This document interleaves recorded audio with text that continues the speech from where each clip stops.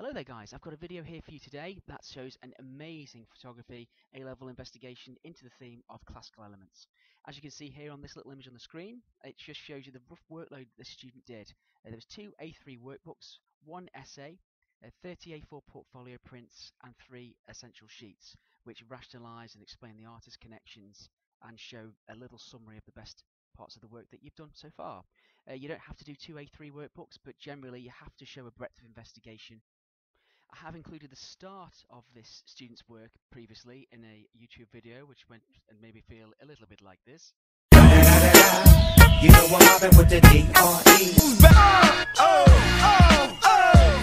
But since then, the student has finished their work, completed their portfolio, and this video is going to show you the actual full submission of images. Um, just to follow is then going to be each one of those books and all of the supporting sheets that make up that student's work. This is the first book here. This is again A3 in size. This is just a title page and rough ideas, mood boards that start to make up the student's investigation. Everything's explained and annotated and thoroughly sort of like shows that understanding that you need to communicate to the examiner. Don't just use Google to look for images, use Behance, use Pinterest. Try and think of as many creative ways of researching artists as possible. It also helps to get out there and visit exhibitions as well.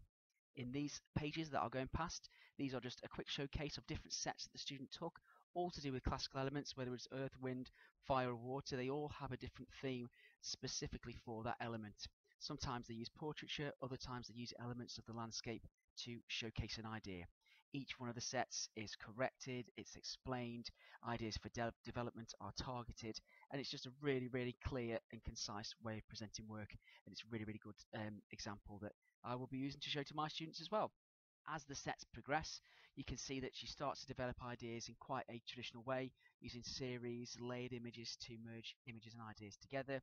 Ideas then become more intentional as the book progresses, as she then determines um, elemental signs and characters which she uses as a formatting tool as well as a composition tool. And then she also then evaluates the work as it progresses, targeting new ways to develop. This white book here, which is called The Classical Elements, just showcases different sketches and um, examples of artwork that the student has created to support the photography and develop the photography. You don't have to necessarily undertake lots of arts-based themes um, if you are more of a straight photographer or you have other disciplines, but it does very much help to show your idea through communicating through drawings to the examiner. No matter how simplistic they are, it's totally up to you, but it has to have some sort of connection to the theme. In this particular book, a textile piece that you can just see here on the screen was a very, very good example of this. Uh, the student had textiles interests and they decided to use that along with artist links and connections to the work to develop her ideas even further. This is where book two starts, and this is again right at the start, just showing a little sort of splice together of ideas, what she's intended on doing, and how she intends to develop those ideas in the beginning.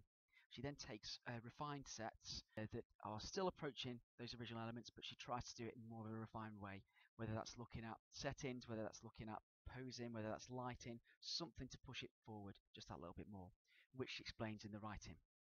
Every single page has got a mixture of evidence pages as well as then showcase pages showing each of the different images she creates and as you can see here, just on the one above, she then becomes more interested in different ways of presenting working images.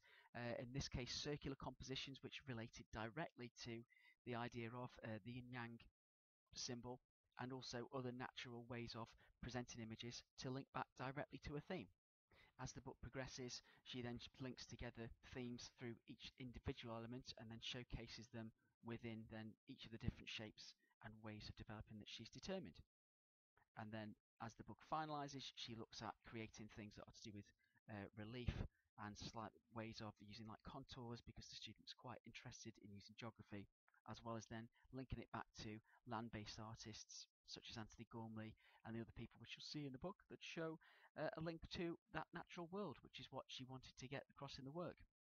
As the investigation then came to more of a close, she then became interested in showing more contextual connections to an artist called Matt Harvey, showing a story in quite a sophisticated, more illustrative approach rather than just using photography. So she wanted to then capture a range of silhouettes and motions and actions, which she then exposed and layered different landscapes and elemental images into to create a story about the environment and then messages about uh, environmental concerns directly into the work that she was making. Um, the remainder of the book is more showing the showcases of that, other ways that it could be developed with advertising, possibly links to uh, like branding, or again back to textiles or acetates to showcase arts-based approaches. She then experimented with burning things to relate back to the actual element of fire before the final piece was based around a cyclical composition which related directly to the artist she investigated as well as uh, the theme itself. These relief images that you can see on the screen were raised onto different layers of cardboard and foam board, again to relate back to the contours of a map and show that land-based geographical link to the work. These final pages that you can see here are examples of the essential sheets which uh, I mentioned right at the start of the video, the rationale, contents and connection sheets that just show clearly the links between the artists you investigate, the ways that you've developed them into the style of artist as well as your own style, and then a rationale of information that explains the context, context and theme in your work. In the final images, nearly forgot to mention, um, here are a couple of quick snaps of this student's essay. Obviously, because it's an essay unit, you have to have that 3,000 words of continuous writing and continuous prose. Otherwise, your work can't be submitted for A level. Uh, that has to then be uh, submitted along with the rest of your work, and that goes to the written content of your entire grade. Uh, it does help if you can make that essay about your work and not something separate, and make sure you get your teacher to go through it and review plenty of drafts with you. I have made a previous video about that, so if you want to check my channel to see that as well, you're more than welcome. Apart from that, thanks. If you have any questions about this, please message me through the channel. Apart from that, I hope you've enjoyed this book as much as I enjoyed going through it when I was marking it. Thanks, bye.